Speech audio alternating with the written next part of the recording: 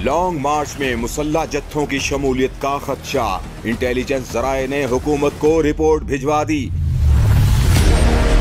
जराये के मुताबिक हुकूमत को पी टी आई के लॉन्ग मार्च में इश्तिहारी और जराइम पेशा अनासर के शामिल होने की इत्तलात हैं। तकरीबी अनासर की मौजूदगी से अमन अमान के संगीन मसाइल पैदा हो सकते हैं।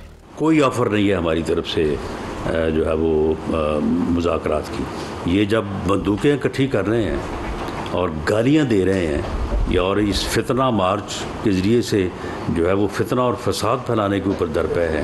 तो ऐसे फसादियों के साथ तो कोई मुजाकरा नहीं हो सकता। पीटीआई के लॉन्ग मार्च में मुसल्ह जत्थे और गैंग्स अमीन गंडापुर शहरियार आफरीदी और सबक डिप्टी स्पीकर कासिम खान सूरी ला रहे हैं। रिपोर्ट में कहा गया कि पहले भी पीटीआई के मार्च में मुसल्ह अफराद और असलहा पकड़ा गया था। जी अली खान।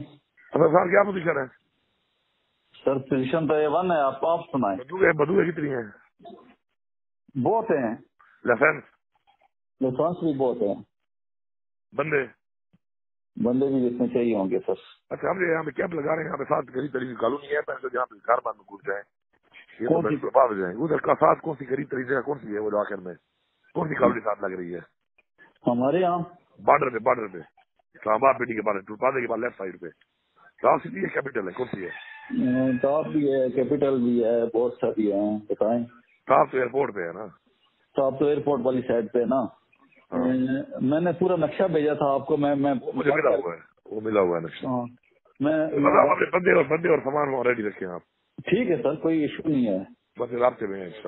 जराये के मुताबिक वज़ीर अला पंजाब चौधरी परवेज इलाही के दफ्तर को जराइम पेशा अनासर की सहूलत कारी के लिए इस्तेमाल किया जा रहा है। पंजाब हुकूमत की सरप्रस्ती से अमन अमान की सूरत हाल को काबू में रखने में मुश्किल हो सकती हैं।